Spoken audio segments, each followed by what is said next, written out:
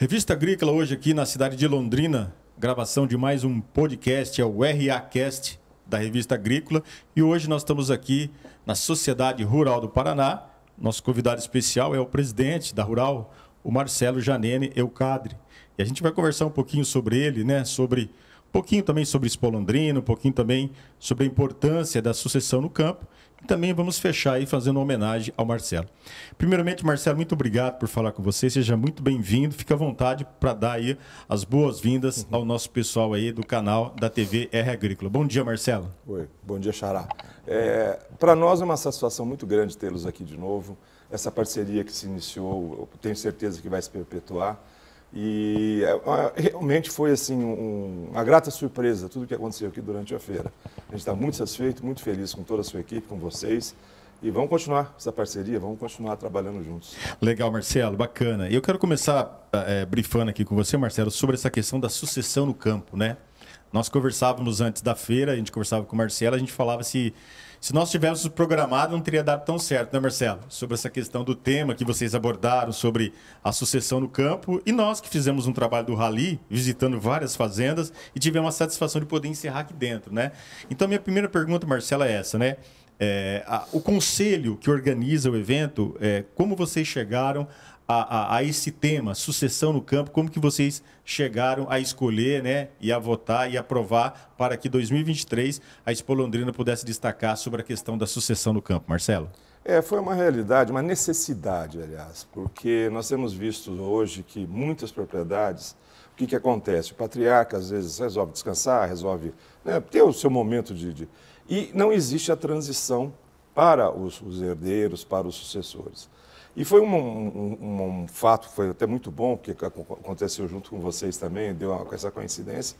Mas justamente isso, nós fizemos um evento aqui dentro, da, da, esperávamos 40, 50 pessoas, vieram mais de 120.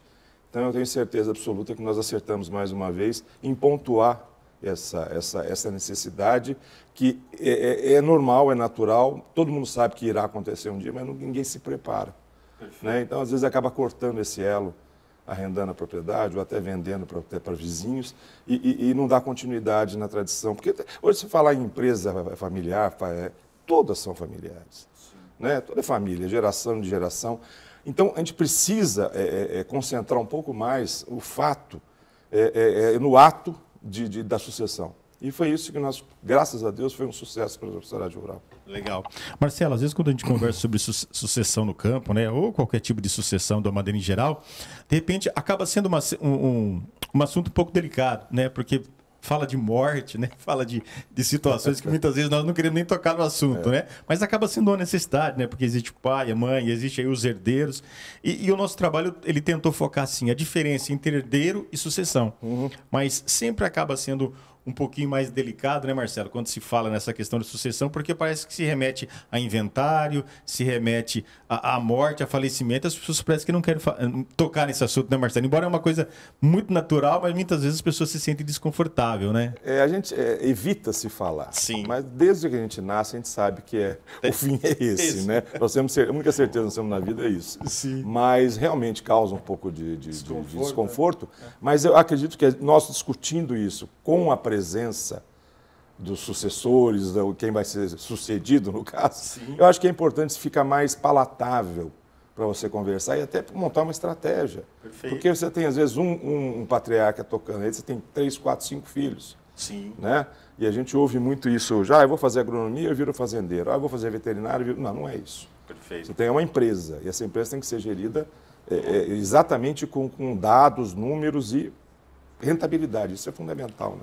Marcelo, a gente sabe aí, né? Você, como presidente da sociedade rural, possui um relacionamento com vários produtores e muitas vezes a gente sente que alguns produtores eles se sentem até com medo, às vezes, de passar o bastão, porque, ah, vou ficar de lado, vou ficar encostado, vou perder o poder, né?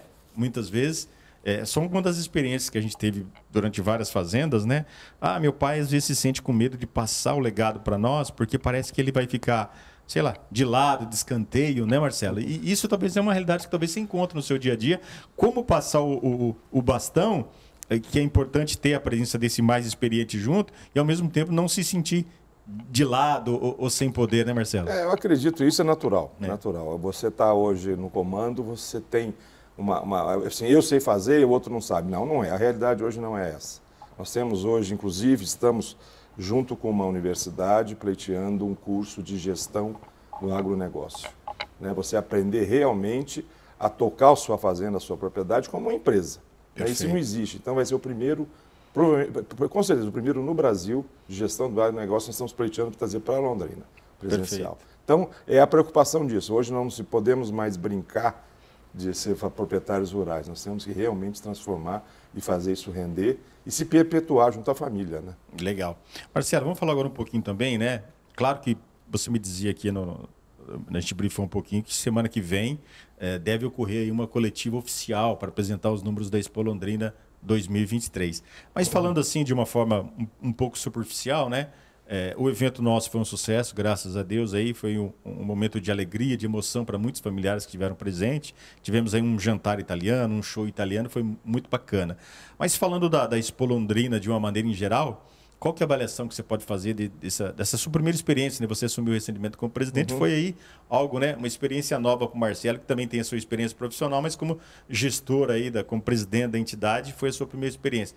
Como foi, Marcelo, essa experiência de estar à frente aí desse, desse frenesi aí de organizar o evento, né? E qual o balanço que você faz da edição de 2023? Olha, Marcelo, é, é realmente isso aqui, é, eu digo que é uma empresa, é uma loucura o que acontece aqui.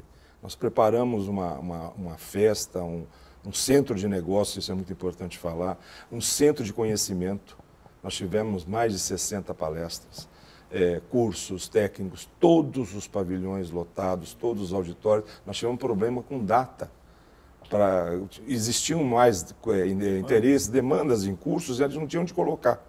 Então, eu acredito que o grande é, é, é o, o, o, número que me satisfez foi esse, esse ano, em relação ao que eu, essa vasta é, é, sessão de conhecimento, de, de, discur, de discussões. É muito importante isso na prática, o conhecimento. O produtor esteve mais aqui. Sabe, nós tivemos, a FAEP teve com a gente aqui, fazia tempo que não participava, teve mais de 30 ônibus, mais de 20 vans, de, sabe, integrada trouxe mais de mil produtores aqui dentro. Então, foi essa parte de conhecimento que eu acho que foi muito importante esse ano. Fora negócios, é, a gente não tem desafechado ainda nos números, porque é, são fábricas que vêm que as fábricas têm certa uma linha de, de, de procedimento que a gente tem que aguardar. Então, na parte na quinta-feira que vem, nós vamos apresentar esses números. Eu tenho certeza absoluta, pelo que eu já vi, que diante da realidade do país hoje e a do ano passado, eu acho que ela se superou, não assim, não vou falar em números, mas em qualidade. Eu acho que é muito importante isso. O ano passado, soja a 200 reais, hoje 125 os juros a 9, hoje a 18, a 20%. Então, tudo isso, mudança de governo, sabe, essa certa indecisão de um programa do governo. Né? Então, tudo isso eu acho que, que compôs, mas a parte da Sociedade Rural do Paraná, com a obrigação de apresentar o de, que tem de melhor, isso nós fizemos, não poupamos um centavo, sabe, assim, detrimento do que a, o, o expositor pudesse dizer, ah, não vou ser prejudicado por isso. Não, nós fizemos a nossa parte, é, é, entendemos a realidade do país hoje e o ano que vem nós temos um compromisso de fazer ainda melhor. Então, estamos animados. Legal, Marcelo. Então, é, a gente quer agradecer a presença do Marcelo e agora, claro, o nosso tema não quer, não é Expo Londrina. Vamos deixar o tema da Expo Londrina mais para a semana que vem. Não vou me, me delongar aqui, não vou, não vou espremer o Marcelo aqui e mais perguntas da Expo Londrina, porque quinta-feira que vem ele já tem aí uma coletiva oficial com toda a imprensa, TV, rádio, aí, revistas de, de Londrina e região, onde ele vai apresentar os números oficiais aí desse grande evento que foi um sucesso, né, Marcelo? A Expo Londrina 2023. Então agora a gente vai fazer um momento especial que é a nossa entrega, né? Do nosso troféu né, do Rally Sucessão no Campo, um troféu que foi é, é, feito com muito carinho né, para todos eles. A gente quer ter a satisfação agora de entregar para o Marcelo, né? pode chegar até aqui, Fabiano, né, entregar. Então, Marcelo, em nome aqui é, da família Sugueta, em nome do Conselho, nós queremos entregar à Rural né, esse troféu aí da, do Rally sucessão no campo, né? Em agradecimento aí pela nossa parceria, em agradecimento aí pelo apoio que nós tivemos para poder realizar aqui. E foi uma parceria aí de duas mãos, né, Marcelo? Agregou valor à Expo Londrina, também nos deu credibilidade no trabalho, então a gente agradece aí todo o apoio né, e todo o, o espaço que nós tivemos para poder realizar esse grande evento. Então, Marcelo, então, em nome do, do Dagoberto Ludivi, que é o, que é o embaixador do Rally Sucessão no Campo aqui no estado do Paraná, em nome da família Sugueta é, e de toda a nossa comissão, uh, o nosso agradecimento aí é com a entrega desse troféu, Marcelo. Fica à vontade. Muito obrigado. É, é, a gente se sensibiliza de poder fazer parte de uma ação tão bela como essa. Eu te agradeço. Eu coloco a Sociedade Rural do Paraná à sua disposição sempre, tá? para novos projetos, novas ideias e que, que esse seja o primeiro de vários Sim. que a gente consiga fazer Legal, é, Marcelo. É, conjuntamente. Eu te agradeço, agradeço muito a toda a sua equipe, a você especialmente. Legal, Marcelo. Obrigado. E em setembro a gente já começa a nossa segunda edição do Rally no Paraná. A gente começa a visitar as famílias, são várias visitas por várias fazendas e teremos com certeza a satisfação de poder entregar esse troféu novamente, não na primeira, mas na nossa segunda edição e quem sabe com a presença do Marcelo, né? Quem sabe a agenda permita, né? Termos aí a, a, a grata satisfação da presença do presidente é, eu, da Rural. Eu, eu, peço até desculpas a você, você viu como é que foi. Sim, Marcelo, a gente a entende perfeitamente. A o governador de Minas aí também. É. Então, é assim, a gente não é dono mais do nosso tempo. Sim. Mas que bom, que bom. Eu acredito que nós cumprimos a obrigação de fazer o, o, o, essa feira acontecer como foi feita. Legal, sabe? Com uma dedicação de todos que participaram dela. Então eu fico feliz, eu te agradeço muito em nome da Sociedade Rural do Paraná. Legal. E, nós somos merecedores desse troféu. Muito Legal. obrigado. Obrigado, Marcelo, a você, a toda a sua equipe também, que o pessoal de assessoria também que nos auxiliou aqui. E se Deus quiser, 2023 foi um sucesso, com certeza 2024 vamos celebrar também mais uma feira de sucesso. Com Graças certeza. a Deus vencemos o pós-pandemia, estamos no pós-pandemia e com certeza o agro continua sendo esse baluarte, esse sustentáculo da nossa economia. Tá bom? Obrigado, mais uma vez, eu Marcelo. Que agradeço, eu que agradeço. Então você acompanhou conosco aí, né, no TV R Agrícola, no nosso canal do YouTube, mais um RA Cast, diretamente aqui da Sociedade Rural do Paraná. Revista Agrícola vai continuar, como sempre, colhendo o melhor do campo. Até mais, pessoal. Obrigado.